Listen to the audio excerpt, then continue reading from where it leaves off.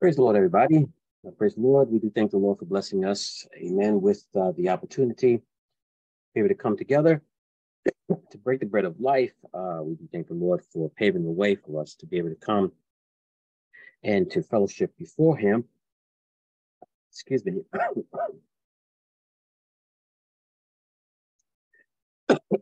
Excuse me, my throat. But um, excuse me. So uh, we do thank the Lord for opening up a door for us to uh, uh, sit at his table. Excuse me. To sit at his table and to fellowship with him, uh, to have the opportunity to be able to uh, receive from him uh, that manna from on high. and truly, we do thank him for the opportunity because we do know there is no better table to sit at than the Lord's table. Uh, this evening. Praise the Lord, we have with us, amen, a, uh, a wonderful man of God, a good friend of mine, uh, praise the Lord, uh, and um, an anointed man of God, amen. He's the pastor, amen, of the Good Samaritan Church in North Carolina, uh, part of the, JC family. And um, before we bring forth Pastor Elder Donovan, uh, we will have a word of prayer. I invite everybody to pray with me in Jesus' name. Father God, in the name of your Son, Jesus Christ, we love and thank you. We ask, Lord, that you would have mercy upon us all. We're here for no other reason, Lord God, but to honor you and to revere you and to learn of you. We're asking, Lord, that you would have mercy upon every last person here and as souls, Lord God, every participant on this call. That, Lord God, you would bless us and our household with those things needful unto us and desires of our hearts. We're asking, Lord God, that you would look upon your manservant, that you would anoint him and steer him in the direction that you see fit, Lord God, as he, uh, Lord God, will be sensitive to the move of your spirit, that he may take of the spiritual loaves of bread as well as fish to administer unto your people, that we may walk from here so much stronger than we were before we got here. We thank you, Lord God, immensely for all that you've done and do.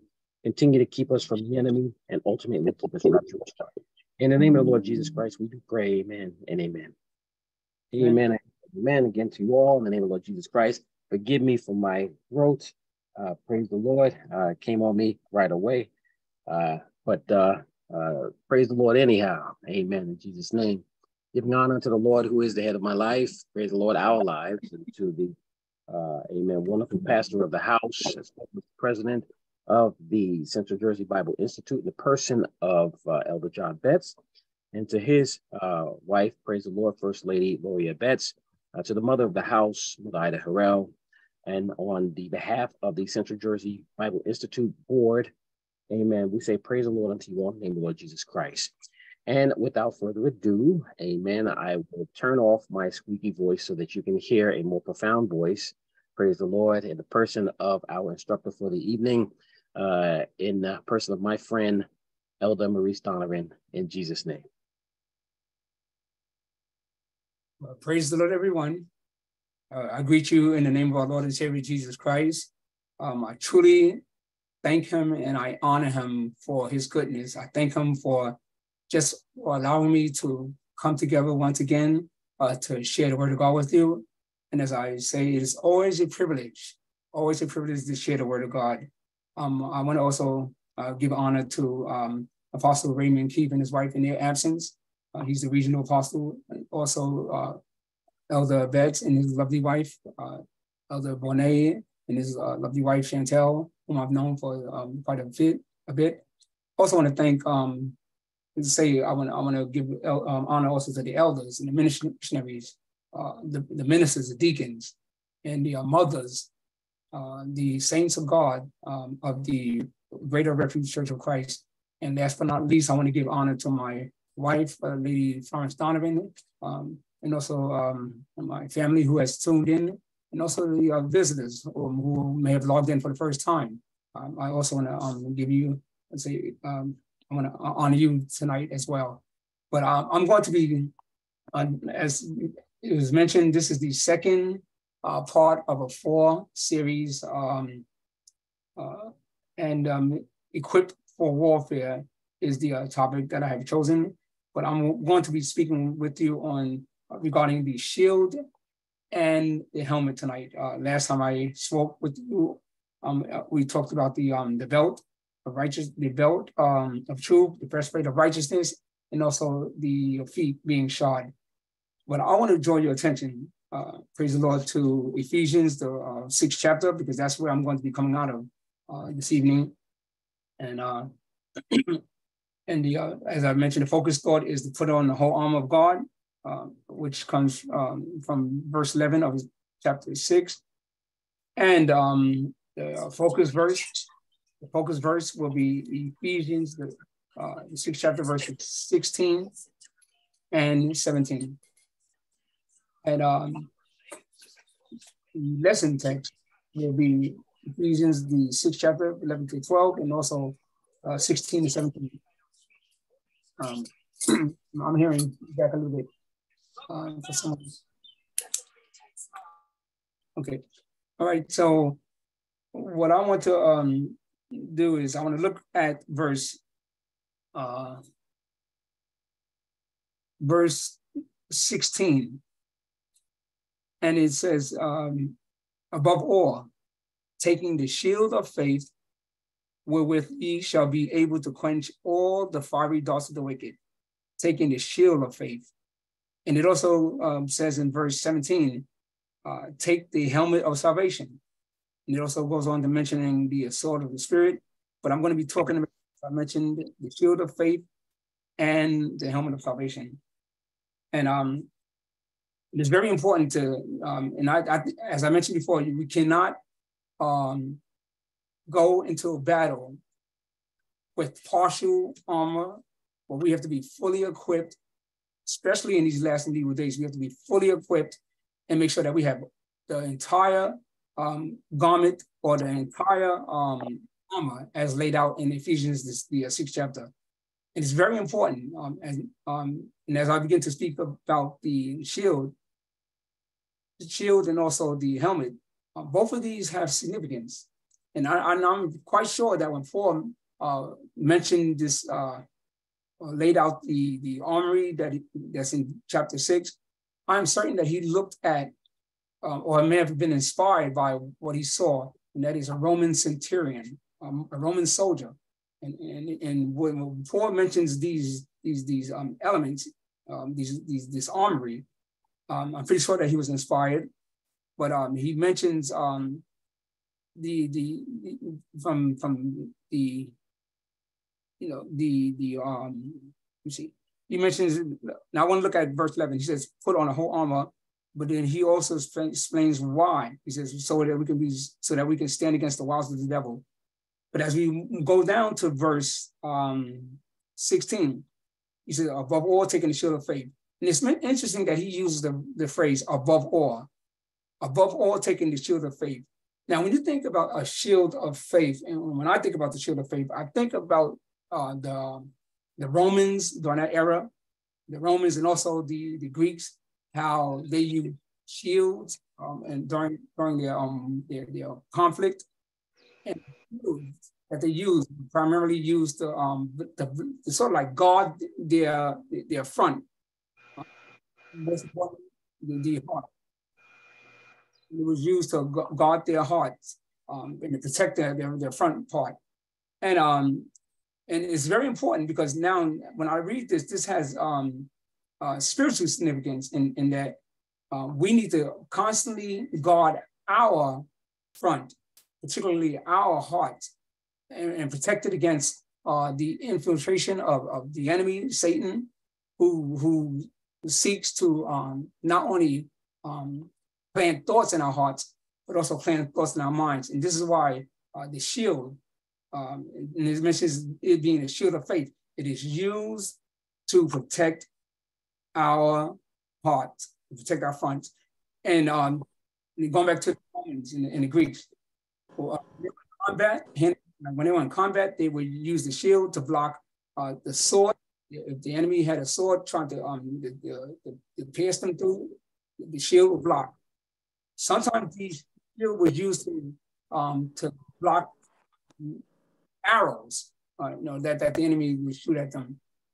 So that's the same um, sort of concept um, that we can use when it comes to the spiritual battle that we are fighting, because the, Bible says we are not wrestling against flesh and blood, but we're wrestling against principalities and against powers, against the rulers of the darkness of this world, against spiritual wickedness. Yeah. Uh, fighting against the um against an. She never seen her come on time. What time is that. Sorry about that. Um, we're fighting against an enemy that we can't see. Um, so having this shield um, is very important. And then think about the consequences of not having the shield. Imagine if we went to battle, uh, and I'm talking about battling without shields.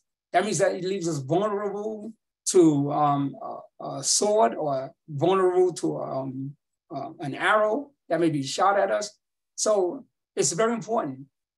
Um, and and Satan, you know, uh, when you when you think about this enemy that we are fighting against, he's he could be very crafty because what happens is this: he utilizes the heart of men in order to cause us to either rebel against God or to you know go outside of the will of God.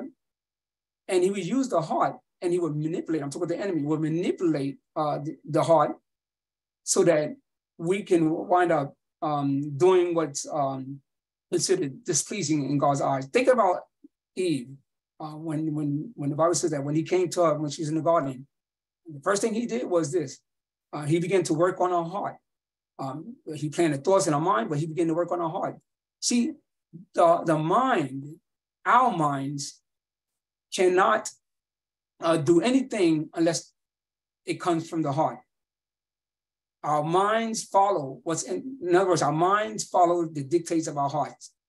If, if, you know how the saying goes, if it's in my heart to do it, I'm going to do it. You know, wherever that may be, if it's in my heart to do. So when the enemy came to Eve, he began to immediately, he planted the thought in her mind, but he immediately began to work on her heart. But, but when he first said to her, have not God said? That what that basically did was did something to Eve. Yes, he heard what he said, but it began to it began to obviously change um, what she felt or what she was told about God, and then she began to look at it in, in, in, a different light. And that's how the enemy does. He, he he takes the word, he twists it, and even in our hearts, he may take the word and he may twist it in order to get us um, out of the will of God. And, and, it's very important that we we constantly hold up our shields and, and thwart off the attacks of the enemy because the enemy is ruthless. We hear this from time to time that we're fighting against a, a very um, um, formidable, formidable foe. And, and, and, sometimes we underestimate the enemy's power. And, and, and even and thank God, we, we know that the Lord has all power in his hands, but sometimes we underestimate the enemy's power. And we sometimes um, would, would, would, think, or, or, we may feel like, okay, um, I can handle this on my own or, or I could fight against him um, by myself. When the Bible says that we can do nothing without Jesus, we can do nothing without Christ. It is He that helps us and enable us to fight off the enemy.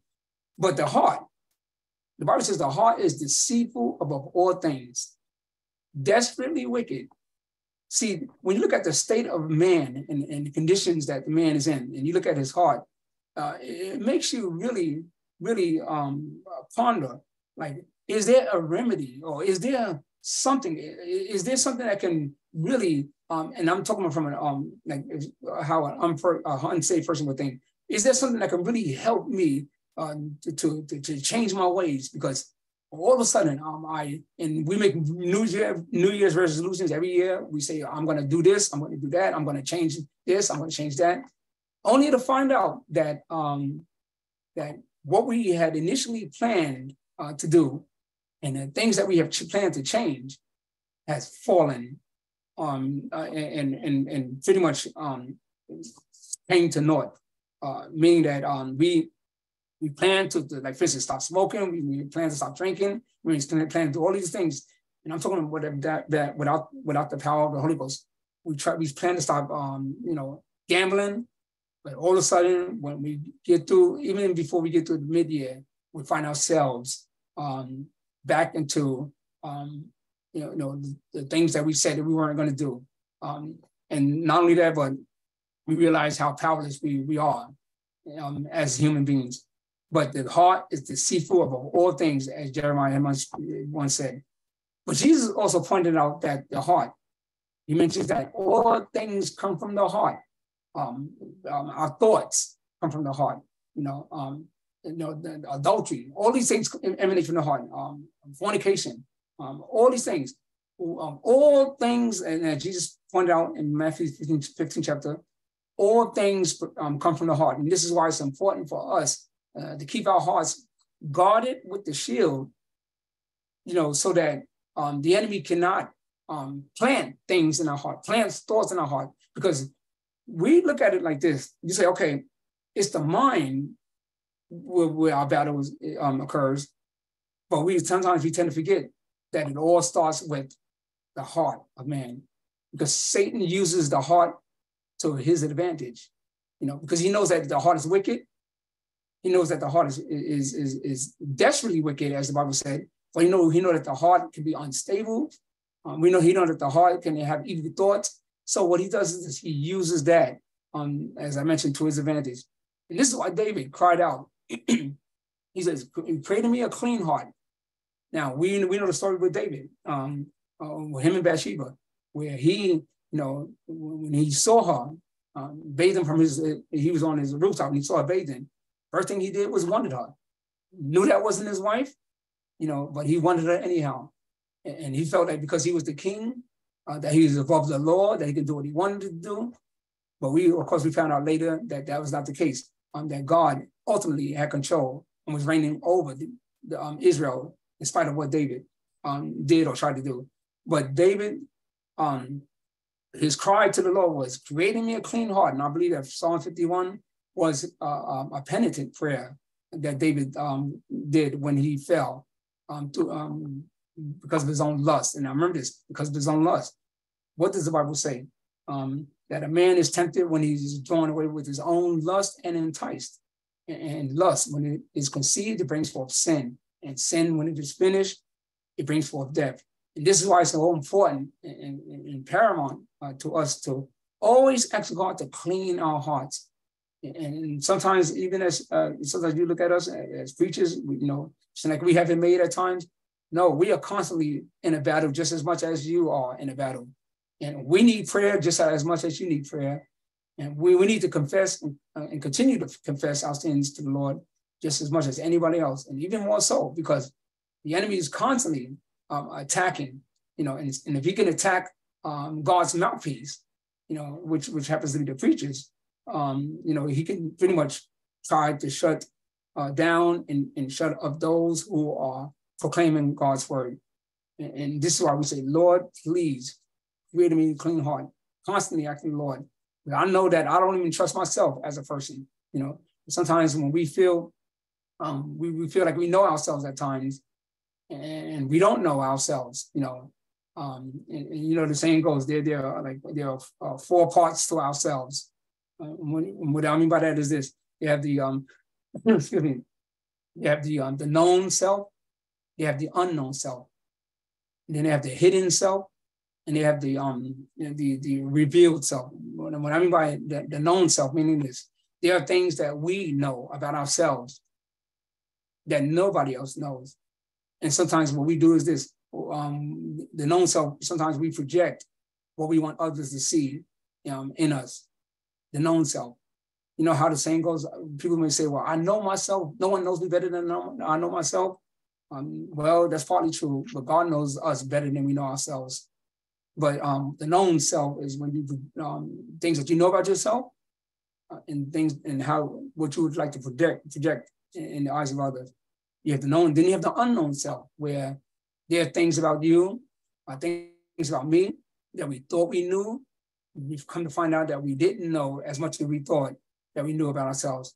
And, and you ever heard um, the saying um, where uh, someone does something and then um, they say, well, I never thought I would do this. I never thought um, I would say that. Or, or, I never thought that I would behave this way. I would never, that's the unknown self. There are things about us that we don't know, things that are in us that we don't know, that um, given the uh, given the I guess I, won't say the opportune time, but given uh, given the um the, the situation will present itself, and sometimes for the good, the bad, or the ugly. So we have to be careful when we talk about um, our unknown self.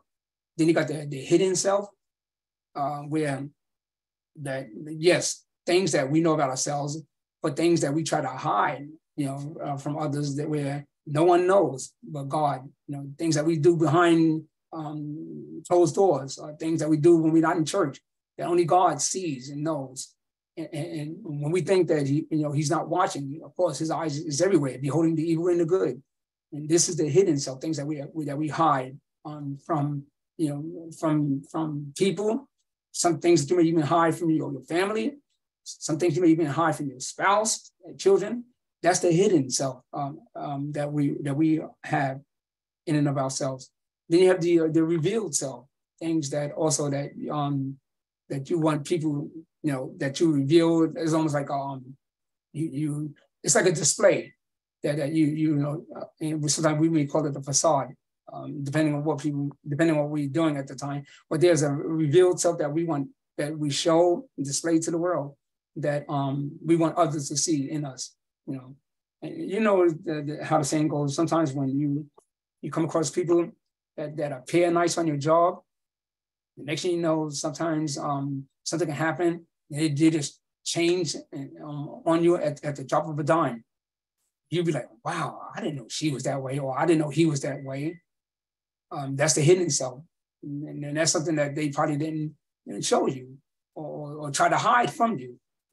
But eventually, when, when the hidden self reveals itself, um, um, sometimes it can be um, not a good situation there. But David said, Create in me a clean heart, oh God. Renew a right spirit in me, a right spirit, a spirit that's going to obey your will, a, a spirit that's going to do um, what you have called me to do, a spirit that's going to live a life that's pleasing and acceptable unto you. Lord, because I know that the enemy you know, he's constantly at my heart, you know, trying to to, to cause me to go to go out of your will, uh, trying to cause me to, to to do things that I don't want to do. And then I'm going to get to um, Apostle Paul uh, and how he battled with himself. But we we say, Lord, Lord, help me to be what you would have me to be. And, and that's one of our that should be one of our daily prayers because when we are in God's will and we are um, um, fighting, literally fighting to, to, to keep his will, there's going to be a battle.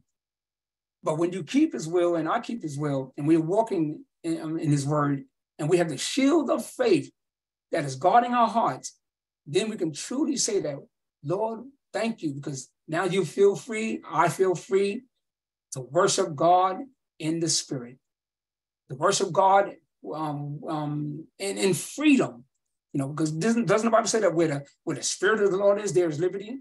And, one thing that I, I, want to point out what David said, it, uh, not, well, yes, David said in Psalms um, uh, 9, uh, he says in verse 9, 1 and 2, he says, I will praise thee, O Lord, with my whole heart.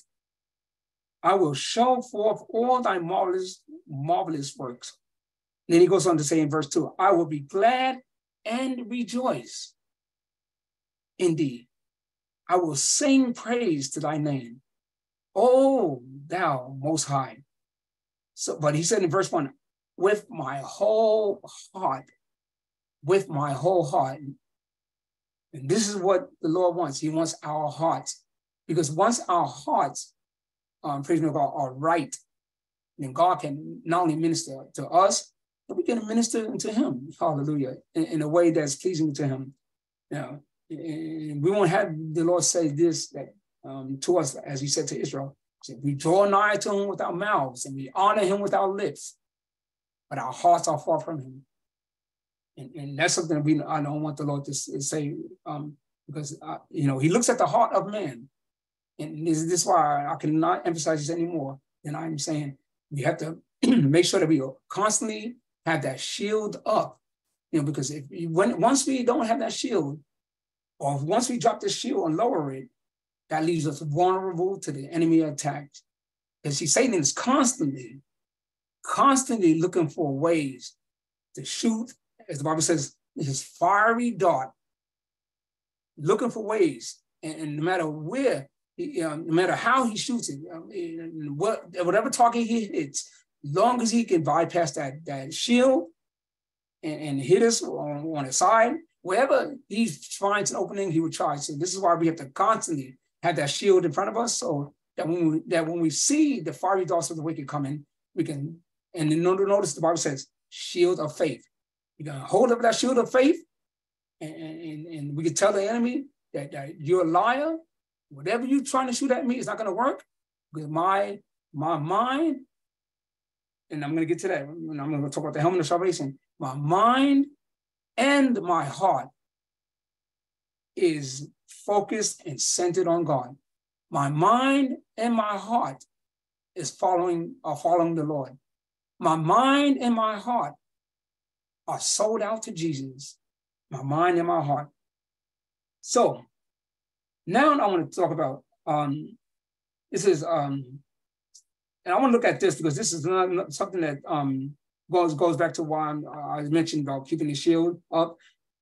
Solomon said in Proverbs, the fourth chapter, verse 22, he says this. He says, Keep thy heart with all diligence, for out of it flows the issues of life. Keep thy heart. Hallelujah. He says, Keep thy heart with all diligence. Not keep your mind, but keep your heart with all diligence. Why? Because, and now notice this when you talk about diligence, you're talking about working at something when someone works when someone does something with diligence, you're working hard at keeping or maintaining whatever you have. If you um, if you, if you're training, um, um, and I'll go back to uh, let me just get share when I when I used to um, box, um, I used to always make sure that I was up five o'clock in the morning jogging in Central Park, New York. I used to always make sure I was in the gym, uh, training, hitting the bag. I used to always make sure that I was jumping rope. Um, when my trainer um, told me to, to do push-ups, I always make sure I did my sets of push-ups. I always make sure that I was um, in the ring to spar when, when my trainer told me to get in the ring.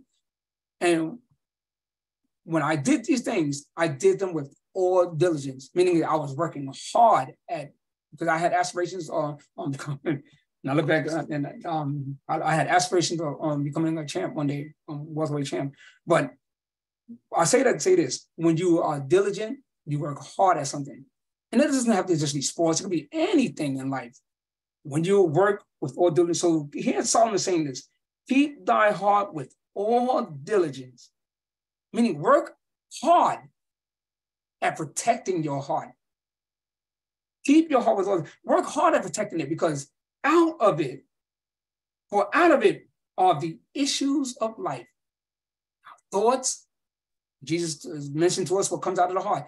Everything comes out of the heart. It could be the good, and it could be the bad, it could be the ugly. But everything comes out of the heart. The word, the words that we speak come out of the heart. And you know, you know how the saying goes that, that sometimes the word that, that proceeds from, from the mouth comes forth from the heart. You know, Jesus said mentioned how that defile a man.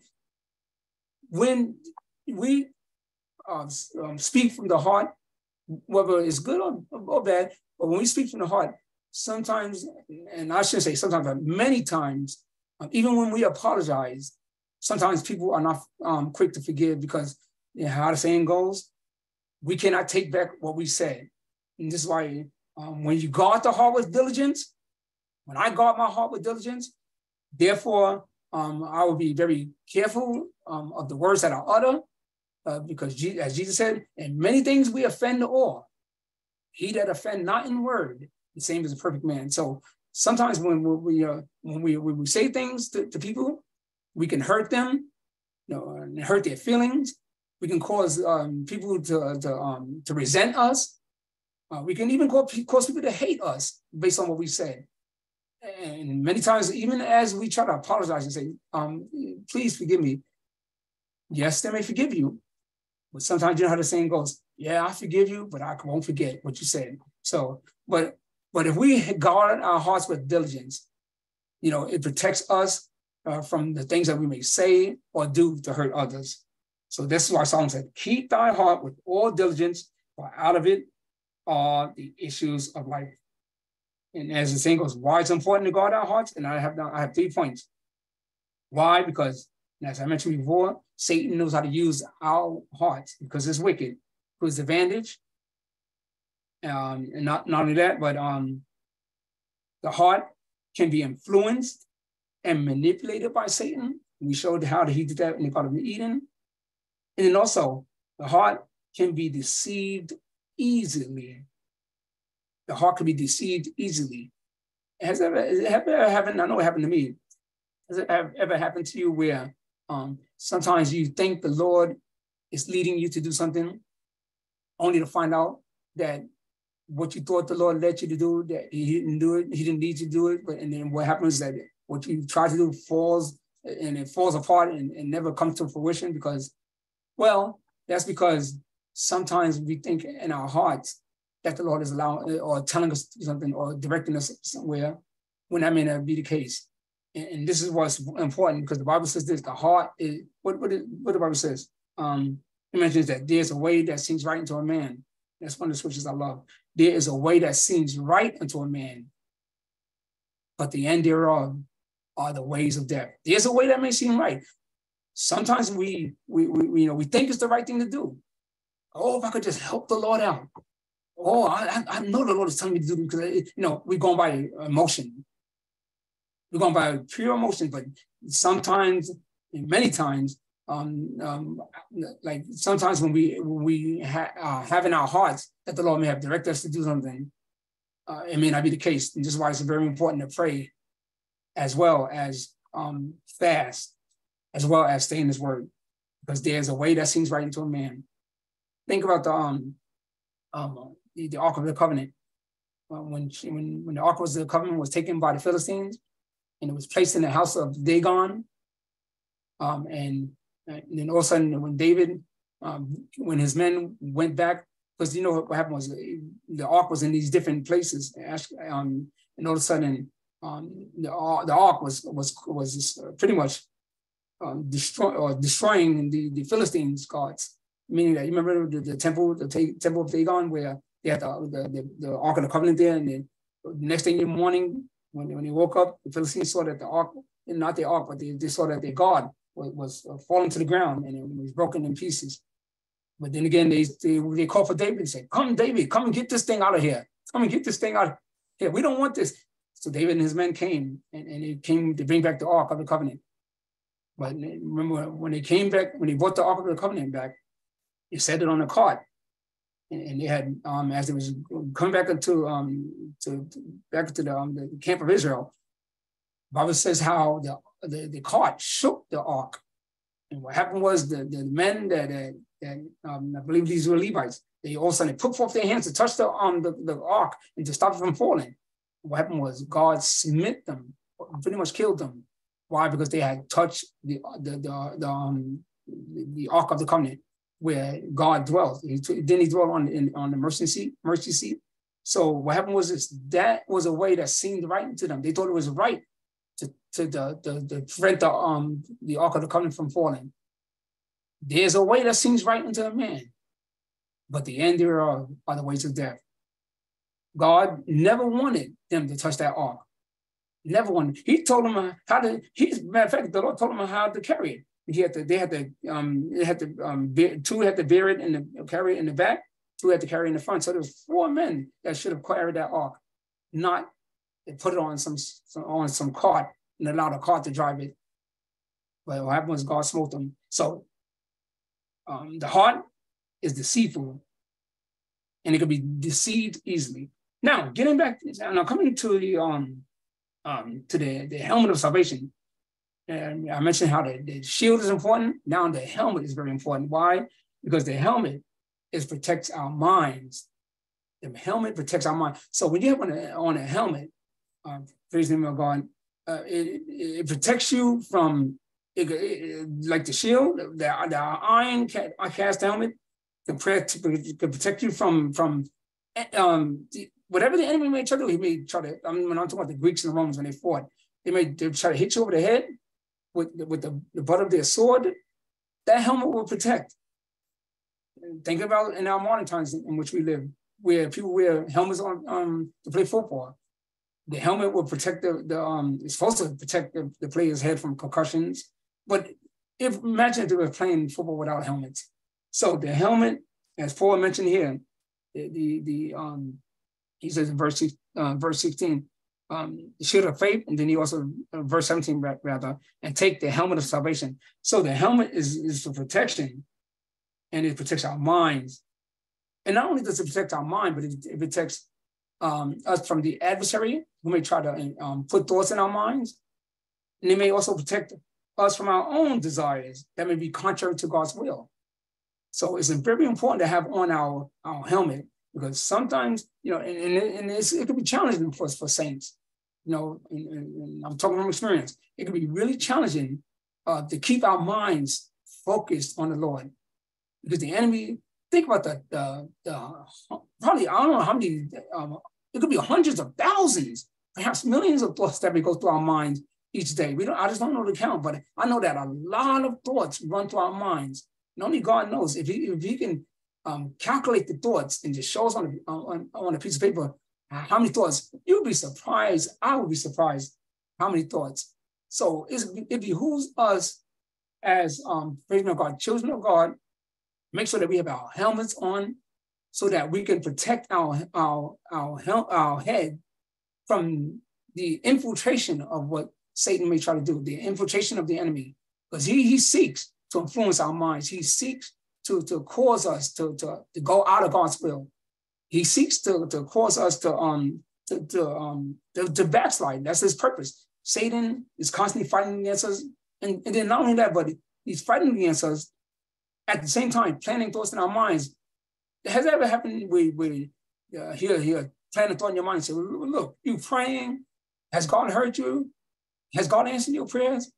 Has God um has God um um you know opened the door for you? Has God and he would just plant thoughts, and these thoughts be sometimes it seems like these thoughts are more um um I mean the, the thoughts when the enemy seems like he had, has you and I at our weakest moments, sometimes the thoughts seem so strong and so loud in our minds to the point where um, we can become confused because why? because all these thoughts are just coming in our heads. And the, in the helmet of salvation, which is supposed to, which is supposed to protect us from the the not only the the the, the thoughts that the enemy plan, um, in our head, but it's supposed to protect us from our own thoughts. Is very very important and very vital to walk to this walk in Christ, because um the the the the, mind the mind, and we can see how the, the how Apostle Paul himself had to contend with his own mind, you know, his own mind. Not only the enemy he has to contend with, but he had to contend with his own mind. You know how the saying goes, our biggest enemy is ourselves. Well, there's some there's truth to that. You know, um, the, our biggest enemies can be ourselves. And I, you know, can't say that everything is the enemy. When I say enemy to Satan, but sometimes we cause, at times can cause our own uh, downfall. We can cause our own weakness. We can cause our own um, suffering. We can bring, we can cause our own sickness. Uh, and it all stems from sometimes being, not sometimes, but it all stems from, stems from being out of the will of God. But we have to um, sometimes sit back and assess ourselves and say to us, say to ourselves, am I doing what's pleasing in God's eyes? Am I in his will? Is Jesus pleased with what I'm what I, what I want to do?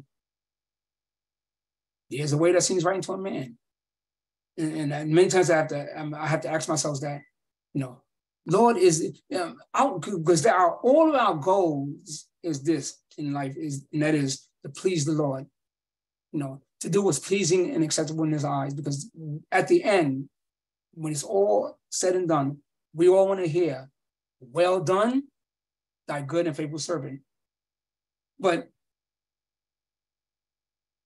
looking at this, now I, I want to point this out.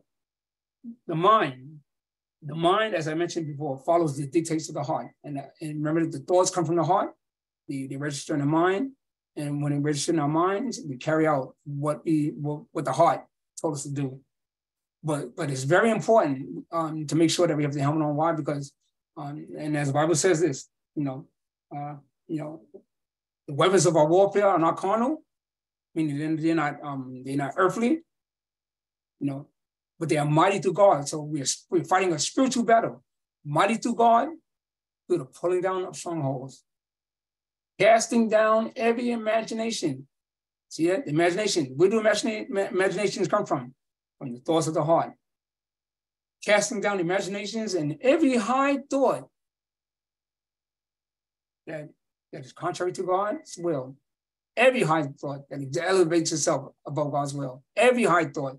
So when we're casting out our imaginations, you know, we have the helmet on, and the helmet assists or it enables us to do that. You know, we can have the breastplate on, uh, we can have the um our feet shod, we can have the belt, we can have the um the shield, but we don't have the helmet. We are still vulnerable. And as Paul said, we need the whole armor. Now, this there's another scripture where Paul says in Romans the 12th chapter, he says, I beseech you, therefore, brothers, by the mercies of God, that you present your bodies a living sacrifice, holy and acceptable unto God, which is our reasonable service. I beseech you, therefore, present your bodies a living sacrifice, holy, acceptable to God, which is our reasonable service. And he goes on to say, and be not conformed to this world. In other words, don't allow the world to squeeze you into its mold, but be transformed by the renewing of your mind. There you go. There, there he goes. Being transformed, being changed by the renewing of our minds. Sometimes we have to renew our minds periodically. We have to, we have to, um, and this is very important. Renew our minds. We have to remind ourselves that we are saved. We have to remind ourselves that we can't do certain things in the world of the world. We have to remind ourselves that we can't we can't go certain places in this world. We got to remind ourselves that we can't, we can't, why? Because the world is constantly trying to squeeze us into its mold, but we are not supposed to let pop culture squeeze us into its mold. But we're supposed to be a shining light and an, and an example to the world. Because this world, it has like a, a gravitational pull, constantly trying to pull us out of the body of Christ, trying to pull us away from the things of God and and what it does is this: the world, um, it, it just doesn't just present itself in, in, before you, but what it does is it, it it glamorizes itself, so that when you look at the world, it seems appealing. It seems it seems beautiful. It seems isn't that what the enemy did when he when he when he tempted Jesus? The Bible says that he showed Jesus all the kingdoms of this world in a moment of time and said to Jesus, All these things not some. He said, All these things will I give to you if you will bow down and worship me. All these things. So Satan shows us the glamour of the world. He shows us the, I mean, if you're not careful, and if I'm not careful, we could be easily sucked into this world. And this is why we have to constantly fight. And I tell you, being saved is a fight in of itself. Why? Because you're constantly fighting against your own thoughts. You're constantly fighting against the adversary. You're constantly fighting against the peer pressure. You're constantly fighting. I'm constantly fighting against the, the, the, the, the pressures of this world. Oh my God, the pressures of this world. And, and one thing I, I, I say to the Lord, Lord, I want to live holy. Lord, I want to live holy. Lord, I, Jesus, I want to see you. I tell, I, I tell you, I, like I'm talking to you, I, I talk to the Lord the same way. I, I, I tell him what's on my heart. And I tell him at times when my heart needs to be cleansed. And but I tell the Lord, Lord, I want to see you. I know you didn't save me and kept me for 36, 36 years for me to turn back into this world. Knowing that if I turn back into this world, that you have no pressure in those that turn back. But help me to live right, Lord. Help me to live holy. Help me to keep my helmet on. Help me to keep my breast, my, my, my shield. Help me to keep these things um, handy so that when the enemy tries to attack me, I will have someone, someone to, to fight him back. Hallelujah. With the shield of faith. Fight them back. with the helmet of salvation. The helmet of salvation. Salvation means deliverance. I've been saved. Have to, we have to tell the enemy that I've been saved. I have been washed in the blood of Jesus. I have been transformed. I have the Holy Ghost. I can't do what the world is trying to get me to do. I can't live how the world is trying to get me to live. I can't go to certain places that the world is trying to get me. Why? Because I'm sold out to Jesus. I'm sold out to Jesus. And as long as I'm sold out, I'm going to keep my helmet on. As long as I'm sold out, I'm going to keep my shield. As long as I'm so, sold out, be transformed by the renewing of your mind, that you may eat or do that which is good, acceptable, perfect will of God. Now, I want to look at um, what Paul, the battles that Paul went through. And here we're looking at an apostle. Oh, he has some battles. He has some. Look at Romans, the, the um, this is the chapter that I've referred to uh, plenty of times. Romans, the, the seventh chapter. I just want you to look at what Paul went through as an apostle. And he, he pretty much let us know that he, he had some problems too. if you look at the apostles in the Bible, they all had issues that they had to deal with. Peter, he was he was he's a person that snapped. He was quick, quick, quick witted, or quick. You know, when when the Lord was getting ready to be taken captive by the by the um Jewish um the, the, the guards that were there, what the Paul did? He took I mean not Paul, but look what the Peter did. He took out a sword, cut off one of the centurions um or cut off one of the um the Jewish um soldiers' ear quick, quick temper. That's Peter. Look at Paul. Paul had had anger issues. You remember when Paul and, Silas got into argument to the point where they, they, they, they, their argument was so heated to the point that it caused them to separate. Silas wanted to take John Mark. Paul said, no, it's not a good thing to take them. They, they, they, these apostles now arguing and to the point where it caused them to separate. Paul took um, Barnabas, and Silas went, went, went with somebody else. But Paul had issues. Peter had issues. I'm pretty sure that many of the apostles had issues. And Paul, when he says in Romans the seventh chapter, now, now I want to look at Romans the seventh chapter, verse 14. Look what Paul says in, in, in Romans the seventh chapter, verse 14. He says, For we know that the law is spiritual, but I am carnal, sold under sin. Mm. And he goes on to say, For that which I do, I allow not. For what I would, that I do not.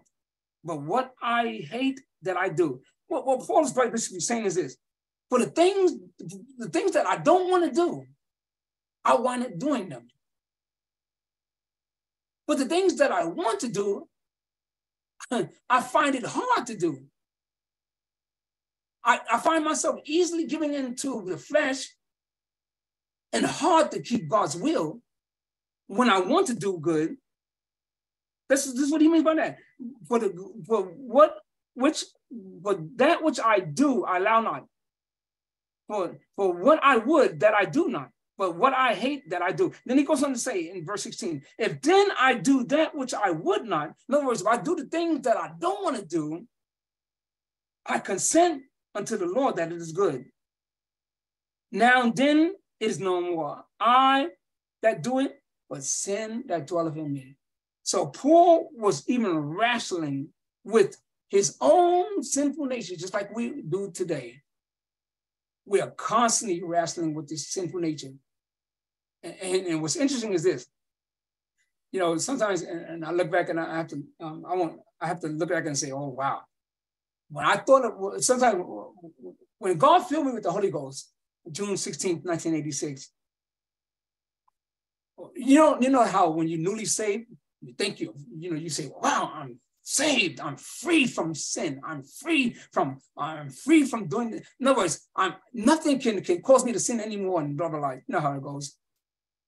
And then when you're newly saved, you're enthusiastic. Then again, as you begin to grow in the Lord, you begin to find out that the, the little things or the things that you thought you had um, overcome, you want to find out that that wait a minute, I thought I thought I had power over this.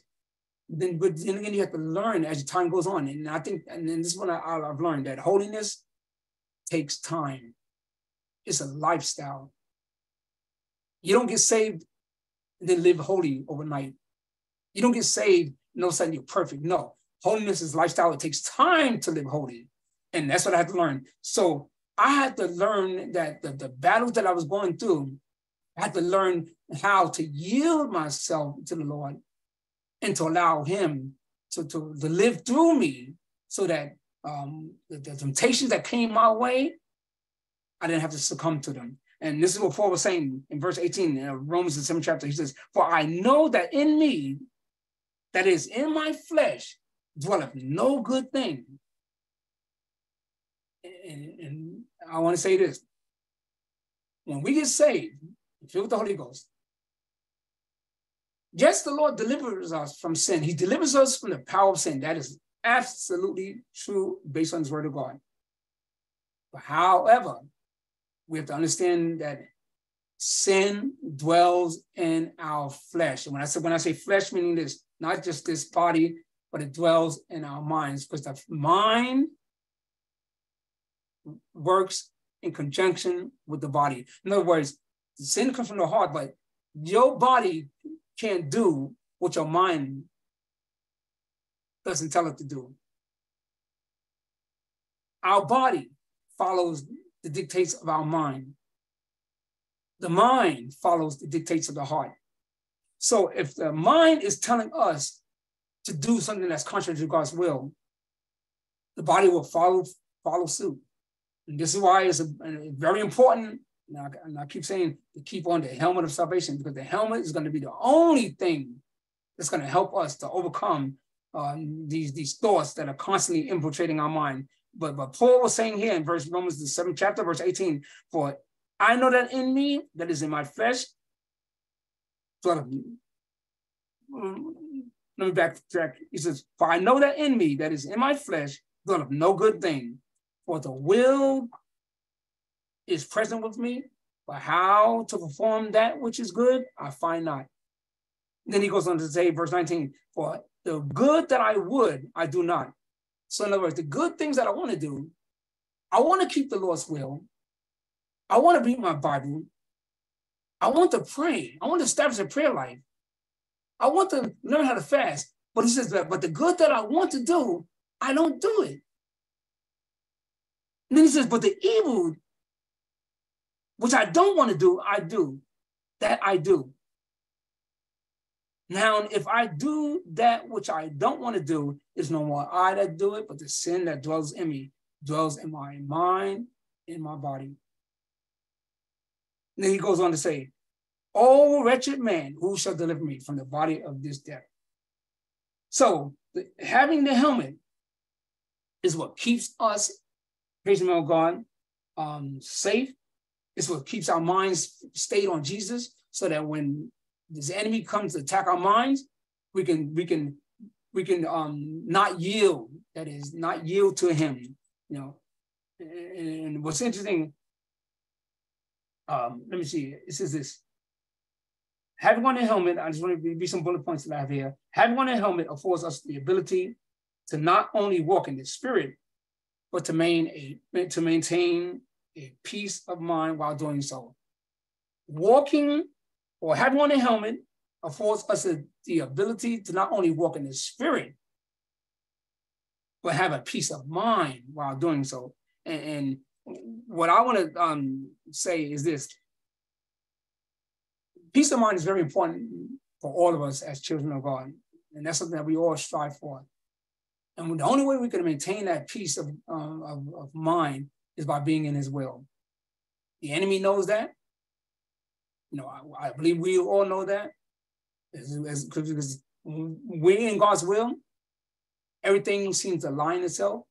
When we're in God's will, everything seems to work out fine. When we're in God's will, we have a peace that passeth all understanding. When we're in God's will, we hear his voice clearer. When we're in God's will, the conviction in us is more stronger. So that when we do things that may be that may seem contrary to his will, the Holy Ghost will speak and it will convict. Not condemn, I said convict. What I mean by convict is this when the Lord convicts you, um, the Spirit speaks to you and say, wait a minute, I'm just saying, wait a minute, what you just did is not right. No. No, don't do that. Go to God, ask Him for forgiveness. He'll forgive you.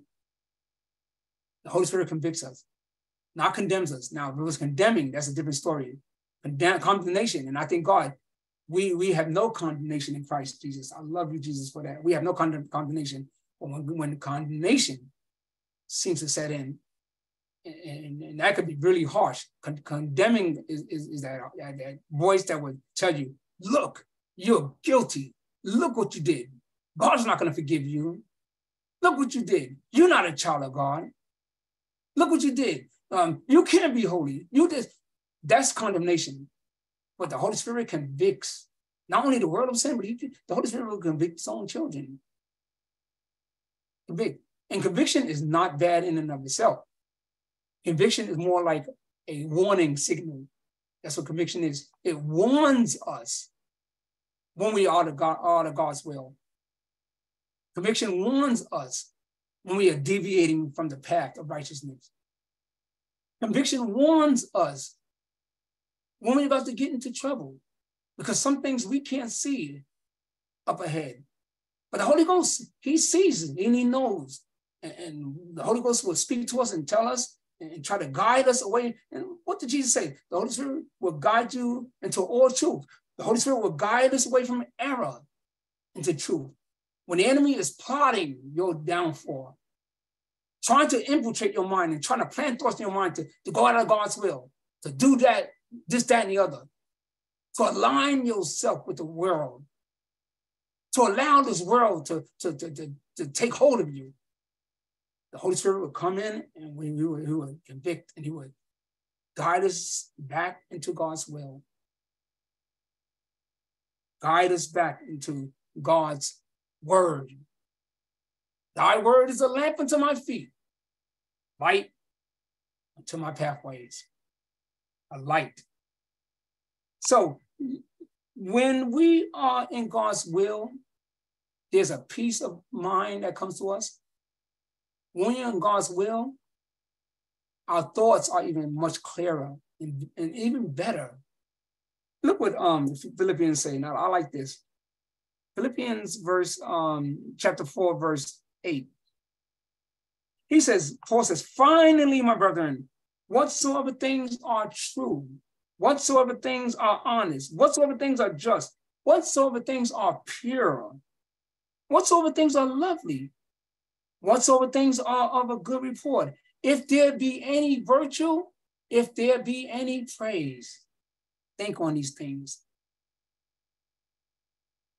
When the heart is in right place and right standing with God, when the mind is in the right place and right standing with God, all of these things that Paul mentioned in Philippians, the fourth chapter, verse 8, will flourish in our lives would be peace. I mean, the peace that God gives us is, is, is unbelievable. And, and the Bible depicts it as this God gives us a peace that passeth all understanding. Sometimes we can't understand this peace that we have. How can we have peace in the midst of storm that we're going through? How can we have peace in the midst of, of, of um, pain? How can we have peace in the midst of, um, of tragedy? How can we have peace? Well, it's the peace of God that gives, gives us all understanding. Or the peace of God that surpasses, I should say, it's a, it passes all understanding. Meaning you sometimes we can't understand the peace of God that's in our lives. But it's given to us, and it's genuinely given to us by the Holy Ghost. In other words, the Holy Ghost is that's in us will, will bring out that peace when the time warrants it. Something that you and I can just cannot make it come. You cannot just conjure it up. No, God gives these different fruits of the Spirit that will surface and present itself in difficult times in our lives, and or in time, and uh, or we will present itself when when the need calls for it, and just like peace. The peace will come. when I think about the things that I've been through in this life, and I, and I still haven't been through anything. I'm 36 years, there's still a lot to go through. When I think about the things that I've been through in this life, or some of the things I've been through in this life, there's some things that I've gone through in the past. I should have been, I should have been in the in, in the psych ward. You know, the things that the principal put me through on my job. My God, the things that I've gone. I mean, things that employees put me through on my job.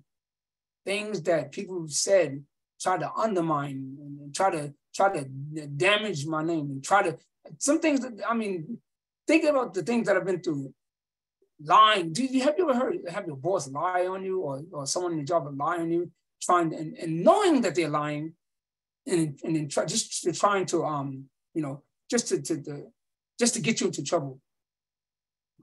And I tell you, yeah, I came home and and, and I, I, I gotta say this. Yes, I'm sa- I was saved and I'm saved, but some of the, the things that, that people have put me through, you know, I, they came I come came home and yes, Sometimes it kept me up at night. You know, Florence will tell you, it kept me up at night. Couldn't sleep because of what I was going through. But I learned that after a while, when God, you know, and I, I yield myself to Him and let Him take over, God began to give me peace.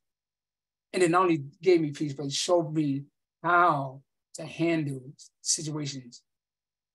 You know, while people in your job will plot against you and try to, to do things I mean, God and Satan can be using these people, you know, and some of them, I mean, sometimes it makes you wonder, Lord, how could this happen? How, but you know what, how you have to say yourself, well, how can this not happen? Because the Bible says that all things work together for the good to them that love God, to them that who are the called according to his purpose. And Florence will tell you that the things that we've been through and I've been through on my job and think, you know, you know, it wound up working out for our good at the end because we had gained so much. we had gained so much. What the enemy meant to do by destroying and taking away, we wound up gaining more than what we, we put it like this, we're in a better position than we were, I was in five or six years ago. But I have, you know, having on the helmet of salvation, having on the having the shield of faith are very important um, things that that keep that keep us, you know, with a sound. And we talk about a sound mind. It keeps us with a sound mind because our mind cannot be sound if we don't have a helmet on, and we allowing Satan can use to use our heads as as a as a punching bag and, and allowing him to beat up beat up beat us all upside our head. No, but if you have your helmet on, Satan, Satan can try to hit you, but he, you know, you might wind up hurting his own hand. Why? Because the, the power of God, all these things that Paul mentioned have spiritual significance. All these things that he mentioned, you know, and, and long as we keep these things um, on our possession, continue to keep the shield of faith and the helmet of salvation at our um at our on our possession, you know, regardless of what Satan tries to do, would fail.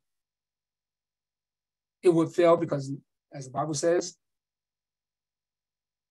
all things work together for the good to them that love the good, that love the Lord, and to them who are the called. If God called you and called me, called all of us, He called us not only for a purpose, but he called us with a purpose. And we have to continue to seek his will, continue to seek his mind so that we can know what the Lord wants us to do. And, and the only way we, and the only way we can seek his will is by keeping that helmet on. That helmet will keep us focused. It will keep us focused and, and you know on the things of God. And, and, so that when we get on our knees to pray, we can hear his, we can hear his voice more clearly. It's wonderful when you can get on your knees and, and get on my knees and, and, the Lord speaks to us. Now, I don't say that he's, you know, the Lord speaks to me um, every day, but there's times when he does speak to you speak to me, you'll know it because it does something, you know, and, you know, it does something to us, not only inwardly, but, you know, it brings joy, you know, because God doesn't just speak one time. No, the Lord, period, periodically, when God wants to get our attention, He would definitely speak. There's times when, uh, you know, I can, I can count the times when He spoke, you know, but most of the time He speaks to us through His Word. He speaks to us through His Word. So having said that, um, I know that um, uh, and I just want to recap what I was uh, spoke spoke about. Um, the shield is very important, and we know why the shield is important because it protects our hearts from the fiery darts of the wicked. The helmet is important. Why is the helmet important? because it protects our mind. It protects our minds from the thoughts that the enemy may try to plant in our heads. It protects our mind from our own thoughts that we that we have. That may be contrary to God's will, contrary to his word. So when we have the helmet of salvation on, we have the, the shield of faith, we can truly say that we are striving not only to walk in the will of the Lord, but we are striving or, or equipped rather to fight the enemy who comes at us and against us. In Jesus' name. I want to thank you. And I know um, I already have my um, next time I'll be going to be speaking. Um, it's going to be some time, um, a couple of months, but uh, I'm ready to share. And I, I, just thank God for this this this um this privilege that um, um Pastor Betts and, and, and Dean um, um, Thomas Bonet. Uh, thank you for just allowing me to come on this platform to, and to, to share your word uh, with, with the saints of God. And, and, and I count it a, a blessing because, you know, I love God's word. I love to share God's word. And, if, and as the saying goes, if I can just help somebody or anybody, I, I know that my living will not be in vain. But um, I just want to thank you um, for those those of you who had tuned in. Um, praise the name of God. And I look forward to seeing you in, in the months to come because I do. I have two more, um, um, I guess, there are two more parts that are left because this is a four part series. And there's there um, part three and part four that's remaining. So at this time, I just want to turn this back into the hands of um, Elder uh, Thomas Bonet in, in Jesus' name. Praise the Lord, everybody. And we do thank the Lord for blessing us with that wonderful lesson this evening. Amen. On the topic of equipped for warfare, uh, the shield of faith, and the helmet of salvation. And uh, I took a bunch of notes. Uh, praise the Lord. And um, it's funny, you know, I, I, you know, as you were going along, praise the Lord, I, uh, I was writing a few things down, and, and, and as you were going through your list of, of things that you wanted to point out, uh, a lot of that's that's those things I, I wrote down. You ended up checking off, and um, uh, bringing to light, uh, you know. Um, but it's it's so important for all of us to recognize, you know, as you had mentioned, you know, the things that are afforded unto us. Um, you know, even Jesus wept over Jerusalem, you know, uh, due to the state of the Israelites, you know, because they he saw that they didn't know in their present state of being, they didn't they didn't realize what was afforded unto them, you know, and um, so it's important for all of us to realize what, you know, the Lord has uh, set aside just for us. And, you know, uh, that being, uh, He has equipped and covered us with uh, such a wonderful anointing. And um, ultimately, this, this entire, uh, you know, um, clothing, this armament that we're putting on is the, the anointing of God. And this is what the anointing of God uh, gives us and you know paul goes through and piecemeals it and and and defines exactly what um, the elements of that anointing is and you know you pointed out two of them uh, this evening uh, praise the lord and the shield of faith and the helmet uh, excuse me helmet of salvation and yes the shield of faith. And so yeah i mean you know he does it in such simplistic terms uh praise the lord that um uh you know uh to just to make things a bit easier for us and you know uh, speaks in a language um, that we all understand that look you know when you have faith it's like a shield and you know it will fight. It is it is stronger than uh, the toughest metal that's out there. It's stronger than iron. And here, you know, during uh, the time of of Paul uh, in the early church, it was during that Iron Age, and you know, it, you know, he's he's actually saying that, you know, greater is He that is in us than He is in the world. You know, we're holding a shield that's tougher than than what the Romans are holding. They're holding shields that might be made of iron. Well, we got something that's stronger than iron, and you know, we have something that's so stronger than iron that you know it, it nothing that that Satan himself can lob at us uh, from um, uh, you know from the gates of hell uh, could permeate uh, the uh, the defense of that shield. As long as we can hold on to the faith you know and as you were talking i just kept reminding myself and just envisioning david you know when he ran up into goliath holding on to that shield of faith no matter how big that man's sword was and his armaments and all of that and how impressive it might have looked he did not allow it to deter him because that's what faith does. Faith will give you, you know, that type of, um, um, you know, perspective where, you know, what you got is not bigger than what I got, you know, and, you know, that whole greater is he that is in us than he that is in the world. It just takes over the mind, you know, and when you know God like that, you know, there's nothing that man can conjure up and, you know, uh, you know, will have any effect unto us. So yeah, we just have to walk through life holding on to faith. And you know, I'm in, I'm imagining, praise the Lord, that even if you know the enemy tries to lob something behind us, you know, even though the shield is supposed to be a forward-facing uh, defense, you know, uh, there's a portion in the Bible where it says the where the Lord said, "I'm your rear reward." You know mm-hmm. that even if something is lobbed uh, at you from behind, like Amalek tried to do, you know, when he came against Israel's um, uh, women and, and, children and the elderly and the sick, you know, uh, in the wilderness, you know, the Lord says, I'm your rear reward and I will be your rear shield, you know. Um, so, you know, he just wants us to have that faith that, you know, even though my back is not protected, God has my back, you know. And so um, that is so encouraging. And then the blessed breastplate of, of uh, excuse me, the helmet of salvation, just to know praise the Lord, that once we become saved, you know, our minds uh, are, are, totally transformed. And the Bible speaks about that, you know, how we're supposed to take on the mind of Christ. And, you know, once you have that, you know, no matter what the enemy tries to do, you can see, uh, praise the Lord, in the, uh, the temptation account where the Lord is being tempted by Satan. You know, that's the one place that he was attacking. He was trying to get into that head. He was trying to give him a death blow you know, uh, you, you, knock off the head and, and the rest of the body goes down. And he was trying his hardest to get a death blow in on Christ, but you know, uh, he had on that helmet, uh, and that helmet that he always, uh, that always reminded him that he was the son of God, you know, and, and he has that in his head. He knows it, you know, nothing that the enemy can, can throw at him is going to, going to counter that. It just can't, you know, and that's how we have to think. That's how we have to see things. We have to understand what is afforded unto us. We have these, these, these, this protection that's just guarded around us. And this protection is ultimately the anointing of God. You know, it's it's the race is not given to the swift, the battle's not given to the strong.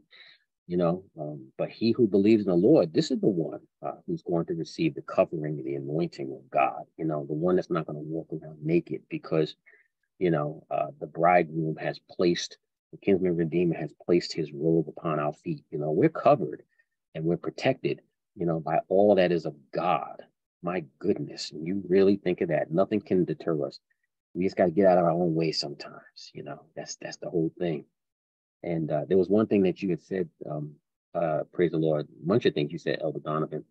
There was one thing in particular that just reminded me. You said that, you know, sometimes it's not just the enemy, sometimes it's just us you know. And you know, I'm reminded of the uh, the parable of the seeds and how uh, you know everybody wants to wants to have the good seed fall on the good ground. Everybody wants that, of course we do, you know. But there are times when it could fall in uh, three other places, and of those three other places, um, only one of them is really satanically influenced, you know um, that's the one where the seeds fall by the wayside and you know uh, the birds come and pluck it up you know. But then you have the other ones where the seed will fall on stony ground, you know, and you just don't allow it to, you know, uh, uh, you don't allow yourself to meditate on it. You don't allow yourself to to have the word take root in your heart. You know, you're not thinking on it. You're not chewing the cud, and then the sun is going to come and scorch it because it has not it has no no nutrients to to supply it and to make it stronger.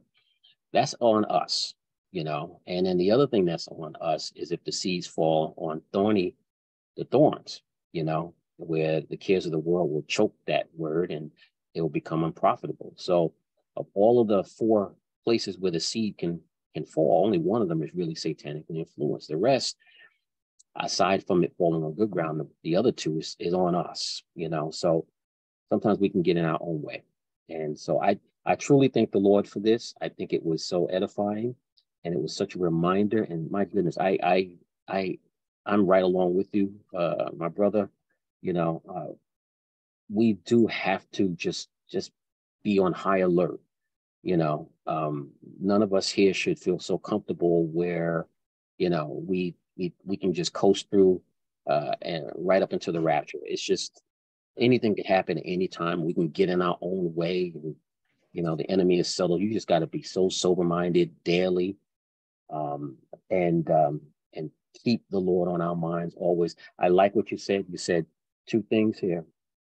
You said that the um, uh, the helmets uh, of salvation, how it protects the mind, of course, and the mind, if it's protected and if it's under the anointing of God, it's going to have two things. It's going to have perfect peace, mind is stayed on Him, and you're supposed to have a sound mind. You know, God has not given us a spirit of fear, but a power, of love, and a sound mind. And when you look at a lot of the things that's going on outside of the doors of, of our homes in the secular society, you see a lot of people who just don't have sound minds. And you know, I've never seen it as as you know distressing as it is. You know, where even the youth highlight the youth for for a minute my goodness, they're so fragile minded and everybody needs therapy and all of these things. It's just, it's scary. And why is that? Because their mind is not on Jesus. You know, they cannot have a sound mind, you mm-hmm. know, and they got to run to the doctors to try to get a sound mind. I'm not putting, I'm not putting pouring water on on therapists and things like that. Some people generally do need therapists. I get that. You know, some people are born with deformities you know, some people were born blind, some people were born without hearing, some people were born without limbs, but not everybody's born blind. Not everybody's born, with, you know, can't hear. Not everybody's not born with limbs or anything like that. You know, some people uh, generally need the help because they've been born with that deformity in their mind. But other people, you could avoid that a whole lot if you just think about Jesus. Just come to Jesus. He will give you a, a, sound mind and he will give you the perfect peace in that mind. Tribulation is going to come, but he said if you do it the right way, by keeping your mind stayed on him, that tribulation is going to work patience. That patience is going to bring an experience that you can't get other than having gone through that tribulation. It's, it's a supernatural situation that you can't wrestle yourself out of. The only way you can get that patience and that experience is by going through and keeping your mind stayed on him. And that experience brings a hope. And that hope maketh not ashamed. It means that I can stand before God and not be ashamed, you know, of of standing in front of him, like you know, Isaiah was when he said, I'm a man of unclean lips. I can stand before him because I went through and kept my mind stayed on him, you know, um, and and gotten to the other side of this thing, saw how God delivered me from this supernatural situation. And you know, just like you had said, you went through what you went through, and now you're you're better for it coming on the other side. Praise the Lord. That's how we will be. And that right there is a testimony for all of us, you know, that the Lord wants us to go through so that he can get us through and so that we can stand on the other side, not ashamed, you know. Um, and if you're not ashamed, and you're somebody who is is being carved out as holy. Now you're starting to look holy. Now you're starting to sound. Holy. Now you're standing on holy ground with the shoes off your feet, you know, because you're not ashamed. So truly, I do thank the Lord for anointing you uh, to bring forth uh, such a wonderful lesson this evening. And before I turn the um, before I ask for remarks, praise the Lord, uh, Pastor Betts, I'd like to invite anybody who has a question or a comment. Uh, praise the Lord for uh, Elder Donovan. Uh, praise the Lord. If you have any comments or questions, please feel free to bring it out in Jesus' name. was awesome and was very edifying, as you said, in Jesus' name. I loved it. So I can't wait for the other two parts. We got two more parts, right? Yes. okay, so I see it. I see, I'm gonna stay tuned and see you on the channel. But that was really good, and it was explained so just beautiful. It was good, and I'm gonna shut up and give somebody else a chance. But thank you so much. I just want to tell you thank you. God bless you, Mother Roll. Bless you too, son. Amen. And does anybody else have a comment or a question for, for Elder Donovan? Jesus' name. Praise the Lord, Elder Donovan, and praise the Lord, beautiful saints of God. This is Sister Pamela Mitchell. I just thank God, though I came in late from work tonight, but I thank God for the part that I was able to eat up, not listen, eat up. Because this week, and it's only Thursday, this week, you talk about going through something. I it, it's it's one after another, bombs are just being dropped. And mm-hmm. one day, as I was working, standing in the middle of the South Field in one of the CUNY colleges, and I'm saying to my saying to the Lord, Lord, I know this is a test. I know it is. I love you. I need you, but I'm going to hold on. So your message was such a blessing. It was on time. Right now, my soul is calm. Right now, my flesh is, is so mad at me because I'm calm despite what had occurred up until today and what continues to go on. So God bless you for being that instrument for me to listen, have my seeds planted, dug real deep down, and the flowers are coming up beautiful. Thank you. God bless you. God bless you, Sister Mitchell. Praise the Lord, missionary Donna Watson. Bless you, Elder Donovan. All beautiful word, beautiful lesson. And I just sat here and just engaged in many of the things that you said that you had gone through. Oh my God. The Lord took my mind way back and even to this very day, we're being challenged on every hand.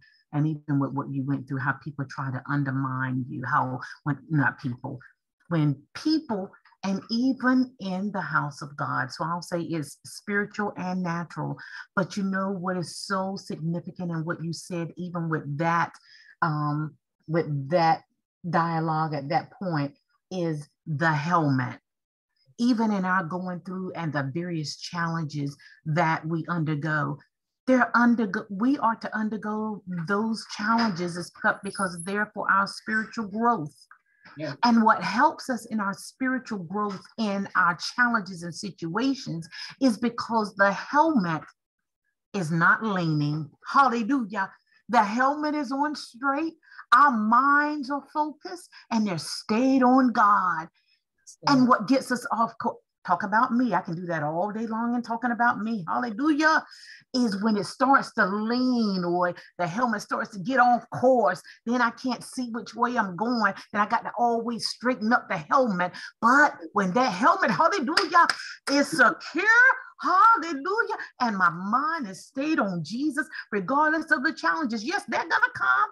Some hurt worse than others. Mm. Oh, God but we can pray. Prayer takes us through and yes. I praise God for the encouragement that the Lord has allowed you and the refresher to bring to his people on tonight. God bless you, Elder Donovan, Elder Bonet. God bless you. Bless you, Elder Betts. God bless you, Missionary Watson. Mm, wow. Amen. Praise the Lord. Amen. Amen. Is there anyone else that has a comment or question? Amen. Amen. Amen. Again, we do thank you. Praise the Lord, Elder Donovan. And now I'd like to ask uh, Elder Betts, amen, uh, has comments uh, in Jesus' name. You say, Praise the Lord and good evening to all. Certainly the Lord is good and he is indeed worthy to be praised. Uh, Elder Donovan, thank you so much for taking time out of your schedule uh, to be a blessing to us in this part of the vineyard. Certainly, we enjoyed part one, enjoyed tonight part two just as much. And I agree with Mother Rowe. We're looking forward to part three and part four. There is nothing like the word of the Lord. And to be able to come to the table and to sit and to eat and to leave full. And so we thank you for being that blessing this evening. And one of the things, of the many things that you did share with us, one of the things that you said that just stuck with me when you talked about the peace that God gives. You know, no matter what we're going through, what we're dealing with, there's something about the peace that the Lord gives.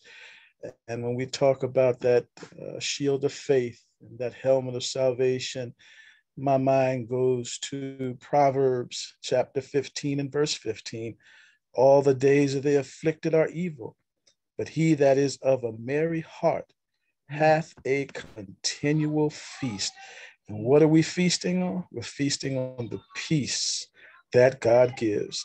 Sometimes what we're going through, and as you mentioned, Elder Donovan, people look at us and they're just waiting for us to drop because they know what we're dealing with. They can understand why we're smiling. But oh, thank God for peace. God bless you, sir. We appreciate you. Amen. Keep on giving us what you got and we'll receive it. God bless you. Elder Bonet, back into your hands. Yes, sir. Praise the Lord. Amen. Thank you, Elder Betts. Amen. And thank you all for joining us this uh, evening. I uh, placed in the chat, praise the Lord, the link um, to um, uh, our YouTube page uh, for the Central Jersey Bible Institute. And we're trying to uh, have all of the recordings uh, from the encouragement series, such as tonight, uploaded to the page. Um, so if you would go there to YouTube, um, and uh, look up the Central Jersey Bible Institute. This is the link here, but for those that are on the phone, you just have to just go to YouTube, look up, look us up, and um, you can subscribe uh, to the page. And uh, once we upload new recordings, you'll get an alert, and you can, uh, you know, uh, just go back over this as, as much as time as much time as you want uh, in Jesus' name. Um, also, I just want to make a quick announcement. our next uh, Central Jersey Bible Institute Encouragement Series session will be next week, Thursday. Uh, so please feel free to come on back uh, in Jesus' name. And also uh, join us tomorrow night, same Zoom login information for the Greater Refuge Church of Christ Cry Aloud Prayer. Uh, the log on time is at 6.50, so 10 minutes before 7, and the actual service begins at 7 p.m. Same login information that you used to come here. And the speaker for the evening is Elder Taylor from Lighthouse Temple in Newark, New Jersey. Amen. And so, uh, without further ado, um, let us close out in uh, Jesus' name. Let every heart pray. Father God, in the name of your Son, Jesus Christ, we love and thank you. We thank you, Lord, for the opportunities that you have given unto us. Thank you for speaking unto us from up on high. Lord God, to remind us that we are protected by you, that the gates of hell will not prevail against the church. And that is done so. Why? Because you have equipped us with such armament, uh, Lord God, that uh, neither man nor Satan and his armies uh, can prevail against. And we do thank you for that, Lord God. And we ask to be increased, uh, Lord, in this strength, faith, Lord, and heart and mind, Lord, that we may be well pleasing before you. Order our steps, govern us, Lord God. Lead us to and fro, protect us, feed us with that which is nutrient uh, full for us, Lord, that we may always have the good, Lord God, and not lack any way thereto. We thank you. Bless every participant on this call. Please, Lord God, uh, keep us rapture ready and away from the enemy. In the name of the Lord Jesus Christ, we do pray. Amen and amen. Amen, everybody. Amen. God bless everyone. God bless amen, amen. Hallelujah. Thank you, Jesus. Bless. Glory. Bless Beautiful. Everyone. Love you. Have a good like night. Sister Hardy. God bless. God bless. Like Sister Hardy. Thank you, Jesus. Thursday. Amen, oh, no, tomorrow. Amen. Tomorrow. Yes, yes. God bless everybody.